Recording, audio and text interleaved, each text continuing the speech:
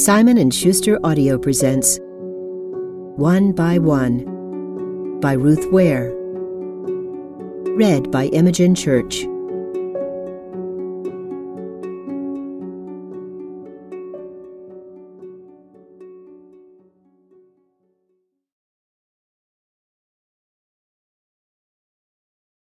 From the About Us page of the Snoop Company website.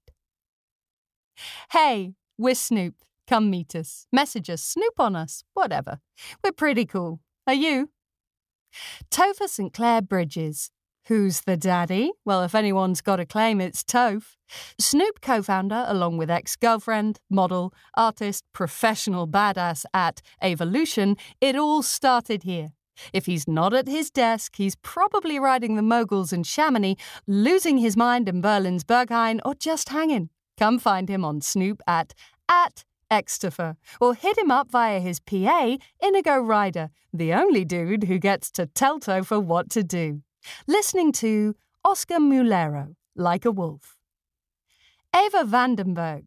From Amsterdam to Sydney, New York to London, Ava's career has taken her all over the world. But right now, home is Shoreditch, London, where she lives with her husband, financier Arnold Yankovic, and their daughter Radisson. In 2014, she co founded Snoop with her then life partner, Ad Extofer, their idea born of a single desire to maintain their connection across 5,000 kilometres of ocean. Topher and Ava have since uncoupled, but their connection remains. Snoop. Make your own connection with Ava on at Evolution or via her personal assistant, Annie Cresswell. Listening to Nico, Janitor of Lunacy. Rick Adeyemi, Head of Beans. Rick's the money man, the bean counter, the keeper of the keys. You get the picture. He's been keeping Snoop real since the very first days, and he's known Toph for even longer. What can we say? Snoop's a family affair. Rick lives with his wife Veronique in Highgate, London. You can snoop him at at Rickshaw. Listening to Willy Bobo, La Descarga del Bobo. Elliot Cross, Chief Nerd. Music may be Snoop's beating heart, but code is its DNA, and Elliot is the maestro of code. Before Snoop was a hot pink logo on your phone, it was just lines of Java on someone's screen, and that someone was Elliot. Best friends with Toph since before they could shave, he's cooler than any tech head has a right to be. Snoop him on at X. Listening to Kraftwerk, Autobahn. Miranda Khan, Friends Czar. Miranda is into killer heels, sharp fashion, and really great coffee. Between savoring Guatemalan carbonic maceration and surfing net-a-porter, she snoops smile to the world. Want to write us up, hit us up, haul us over the coals, or just say hi? Miranda's the place to start. Snoop knows you can never have enough followers or enough friends. Make Miranda one of yours at at Mirandalicious, listening to Madonna, four minutes. Tiger Blue Esposito, head of cool. The epitome of chill, Tiger keeps her trademark Zen state with the help of daily yoga, mindfulness, and, of course, a steady stream of Snoop through her oversized headphones. When she's not pulling a Bhujapidasana or relaxing into an Anantasana, that's a side reclining leg lift to the uninitiated. She's polishing Snoop's cogs to make sure we look our very best and getting the word out. Chill with her on at Blue Sky Thinking. Listening to Jai Jagdish Ad Gure Name. Carl Foster, lawman. There's no two ways about it. Carl keeps us on the straight and narrow, making sure that wherever we snoop, we're doing it on the right side of the law. A graduate of UCL, Carl did his pupillage at Temple Square Chambers. Since then, he's worked in a variety of international firms, mostly in the entertainment industry. He lives in Croydon. Snoop him on at Carl Foster 1972. Listening to The Rolling Stones. Sympathy for the Devil. Taken from the BBC News website, Thursday, 16th of January. Four Britons dead in ski resort tragedy. The exclusive French ski resort of Saint Antoine was rocked by news of a second tragedy this week, only days after an avalanche that killed six and left much of the region without power for days. Now, reports are emerging that in one remote ski chalet cut off by the avalanche, a house of horror situation was unfolding, leaving four Britons dead and two hospitalised. The alarm was only raised when survivors trekked more than three miles through the snow to radio for help, raising questions of why the French authorities did not work to re establish power and mobile phone coverage more quickly following Sunday's avalanche. Local police chief Etienne Dupont refused to comment except to say that an investigation is in progress. But a spokesperson at the British Embassy in Paris said we can confirm that we have been informed of the deaths of four British citizens in the Savoie department of the French Alps, and that the local police are treating these incidents as a linked murder inquiry at this stage. Our sympathies are with the friends and families of the victims. The families of the deceased have been informed. Eight survivors, also thought to be British, are said to be helping the police investigation. This year has been marked by unusually heavy snowfalls Sunday's avalanche is the sixth since the beginning of the ski season and brings the total of fatalities in the region to 12. Five days earlier. Liz. Snoop ID Anon 101. Listening to James Blunt, You're Beautiful. Snoopers, zero. Snoopscribers, zero. I keep my earbuds shoved into my ears on the minibus from Geneva Airport. I ignore Topher's hopeful looks and Ava glancing over her shoulder at me. It helps somehow. It helps to shut out the voices in my head. Their voices, pulling me this way and that, pummeling me with their loyalties and their arguments to and fro. Instead, I let James Blunt drown them out, telling me I'm beautiful over and over again. The irony of the statement makes me want to laugh, but I don't. There's something comforting in the lie. It is 1:52 p.m. Outside the window, the sky is iron grey, and the snowflakes swirl hypnotically past. It's strange Snow is so white on the ground, but when it's falling, it looks grey against the sky. It might as well be ash. We are starting to climb now.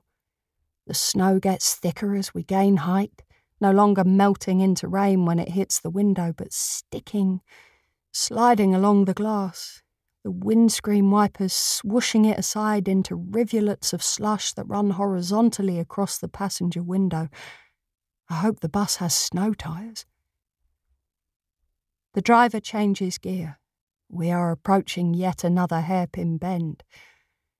As the bus swings around the narrow curve, the ground falls away, and I have a momentary feeling that we're going to fall a lurch of vertigo that makes my stomach heave and my head spin.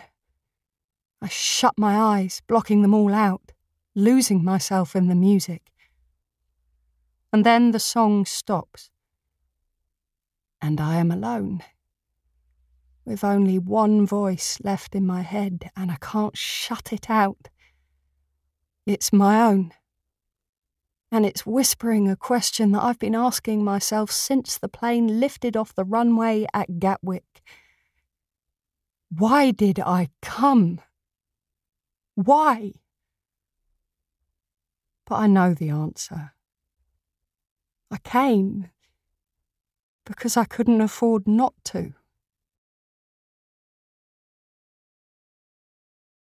Erin. Snoop ID not applicable. Listening to, not applicable. Snoopscribers, not applicable.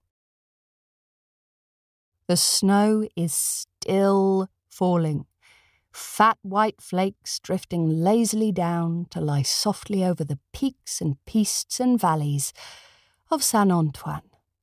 Three metres have fallen in the last couple of weeks, and there's more forecast. A snowpocalypse, Danny called it. Snowmageddon. Lifts have been closed and then reopened, and then closed again. Currently, almost every lift in the entire resort is closed, but the faithful little funicular that leads up to our tiny hamlet is still chugging away. It's glassed in, so even the heaviest dump doesn't affect it. The snow just lies like a blanket over the tunnel rather than clogging the rails. Which is good, because on the rare occasions it does shut, we're totally cut off. There's no road up to Saint Antoine 2000. Not in winter, anyway. Everything from the guests in the chalet right through to every scrap of food for breakfast, lunch, and dinner has to come up in the funicular. Unless you've got the money for a helicopter transfer, which, believe me, is not unheard of in this place. But the helicopters won't fly in poor conditions. If a blizzard comes in, they stay safely down in the valley. It gives me a strange feeling if I think about it too much. A kind of claustrophobia that's at odds with the wide open vistas from the chalet. It's not just the snow, it's a hundred weight of unwelcome memories bearing down on me. If I stop for more than a minute or two, the images start to come unbidden, crowding into my mind numb fingers scrabbling through hard packed snow, the sheen of sunset on blue skin, the glint of frosted lashes. But fortunately, I've got no time to stop today. It's gone one o'clock, and I'm still cleaning the second to last bedroom when I hear the shuddering sound of the gong from downstairs. It's Danny. He shouts my name, and then something I can't make out. What? I call down, and he shouts again, his voice clearer this time. He must have come out into the stairwell. I said, grubs up, truffled parsnip soup. So get your lazy ass down here.